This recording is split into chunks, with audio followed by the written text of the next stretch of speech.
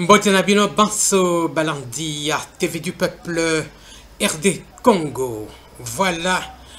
Tozaliko Lakisabino, discours, il y a président de la République na salle Nelson Mandela, il y a Addis Abeba, na Union africaine. wana ezali ntango ya kozala na fierté mpo na république démocratique du congo aganye baélection akomi président mbala moko akomi président de l'union africaine. Ezali kolakisa ete na mikolo ekoya na bambula ekoya. Donc ekozala kitoko mpo na afrique mpe mpo na république démocratique du congo. Regardez. Monsieur le Président Cyril Matamela Ramaphosa pour euh, cet honneur. Merci pour cette passation euh, de témoins que je reçois avec euh, honneur. Et je, je, sais que vous avez placé la barre tellement haut que je serai obligé, grâce à cela, à travailler d'arrache-pied pour essayer de vous égaler.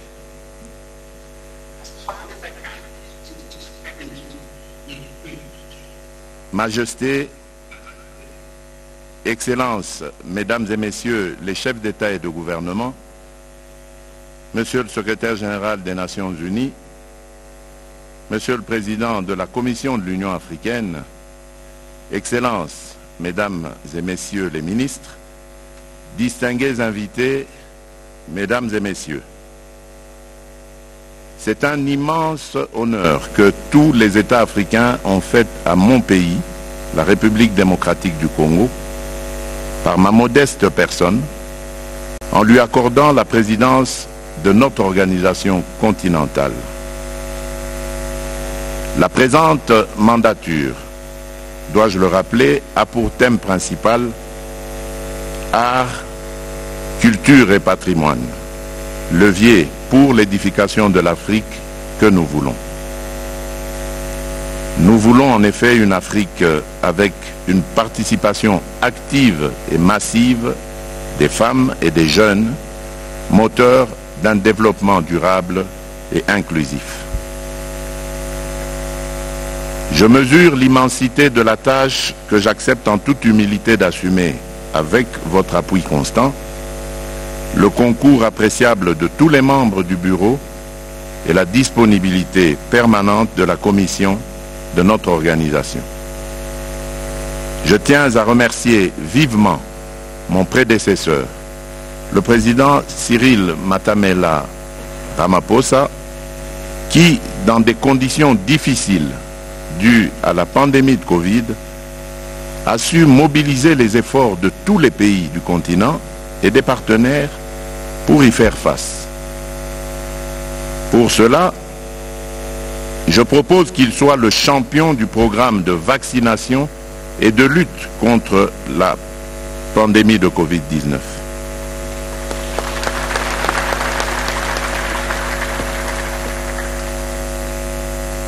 Je salue chaleureusement et remercie fraternellement son Excellence, Madame Saleh Work Zeoudi, présidente de la République démocratique fédérale d'Éthiopie, et son Excellence M. Abiy Ahmed, Premier ministre, pour la qualité de l'accueil et euh, que le peuple éthiopien n'a cessé de nous réserver lors de nos assises au siège de l'organisation. Je saisis également cette occasion pour adresser mes sincères remerciements à M. Moussa Faki Mahamad, président de la Commission de l'Union africaine, qui nous reçoit dans ce magnifique cadre du siège de notre organisation continentale.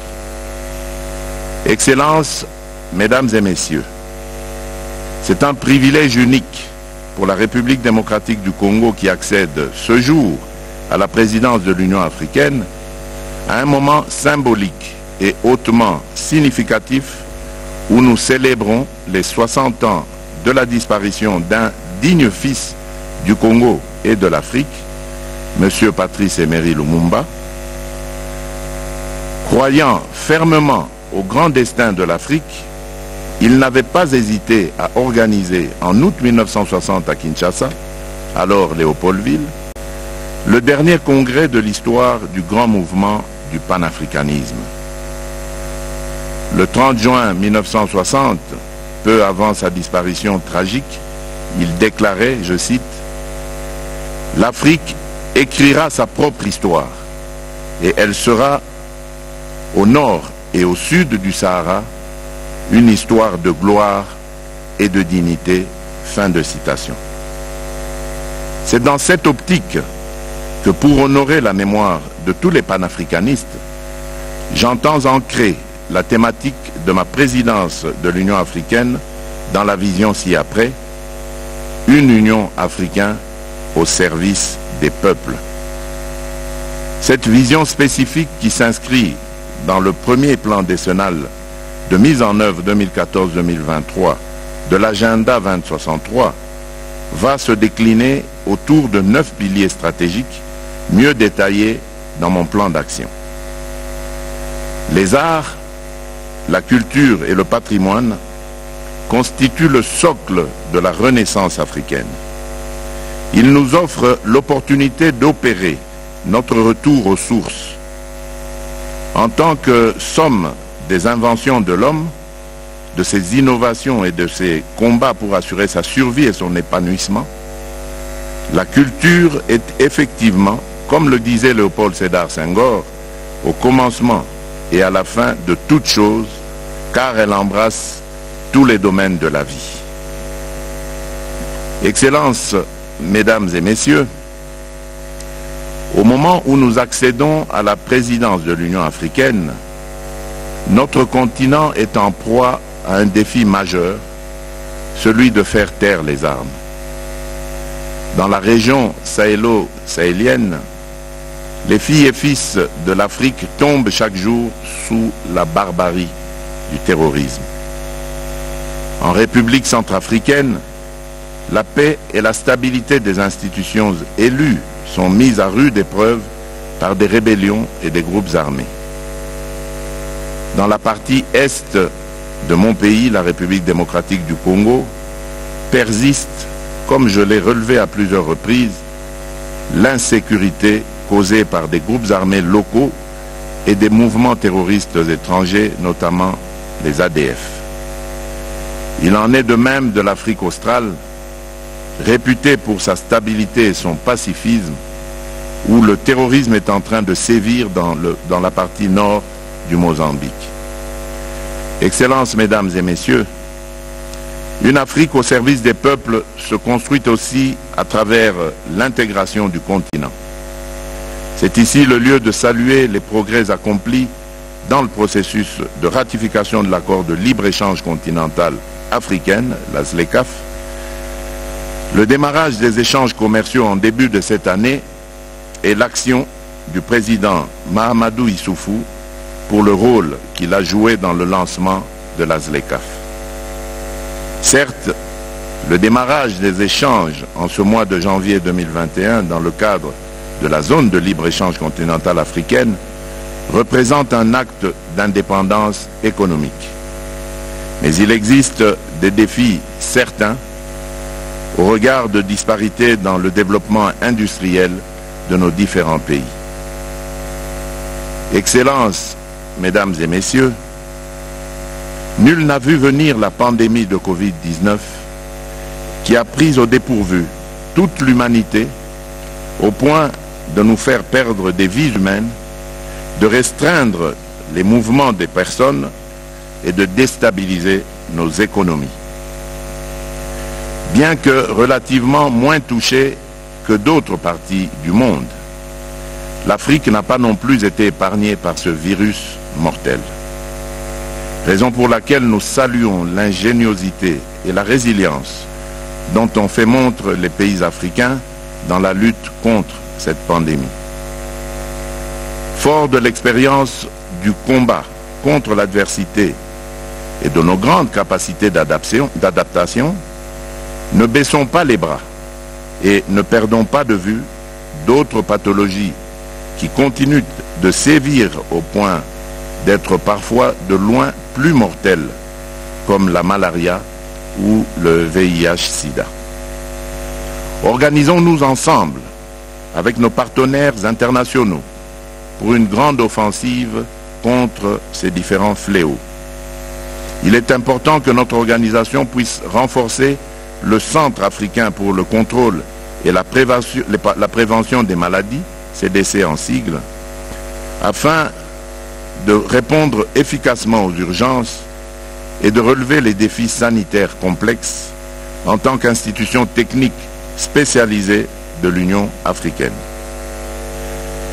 Excellences, Mesdames et Messieurs, dans une stratégie avec les communautés économiques régionales, nous allons conjuguer nos efforts pour renforcer la paix et la sécurité, poursuivre l'opérationnalisation de la zone de libre-échange continentale africaine, promouvoir une renaissance de la culture, des arts et du patrimoine africain, lutter contre les changements climatiques, accélérer les projets intégrateurs, entre autres la construction du grand barrage d'Inga, consolider les initiatives de l'Union africaine dans la lutte contre la Covid-19 et dans la prévention contre d'autres maladies.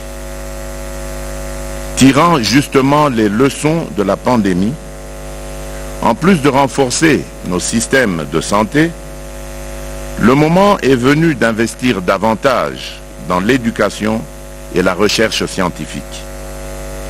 Dès lors, il est d'un intérêt hautement stratégique que chaque État membre réserve une bonne part de son revenu au développement de son capital humain qui est la principale richesse, la seule qui soit capable de se mobiliser avec efficacité pour résoudre ces problèmes spécifiques et faire face aux défis mondiaux. Fort de ma vision d'une Union africaine au service des peuples africains, je me propose précisément de faire sortir notre organisation, avec votre concours à tous, des salles des conférences, des disques durs de nos ordinateurs et des dossiers bien ficelés de nos secrétariats. J'entends l'amener dans les cours d'école, au milieu des camps des réfugiés, au cœur des marchés de nos villes et des champs de nos villages. Excellences, Mesdames et Messieurs, promouvoir une communauté panafricaine consciente de son histoire, de son potentiel artistique et de la richesse de son patrimoine culturel n'est pas et ne doit pas être une option, mais un devoir. Nous devons le réaliser ensemble au cours de la présente année en nous appuyant sur les neuf piliers qui constituent ma vision stratégique. C'est à ce prix, j'en suis persuadé, que l'Afrique poursuivra sa marche vers l'horizon de l'agenda 2063 qui lui assurera, entre autres, la prospérité fondée sur la croissance inclusive et le développement durable, la paix et la sécurité et la pleine égalité entre les hommes et les femmes dans tous les domaines de la vie. Pour terminer, mes chers frères et sœurs, continuons à tisser inlassablement, année après année, la natte de l'intégration africaine. Comme l'avait si bien dit, si bien souligné Joseph Kizerbo, on ne développera pas l'Afrique, mais c'est l'Afrique qui se développera. Je vous remercie.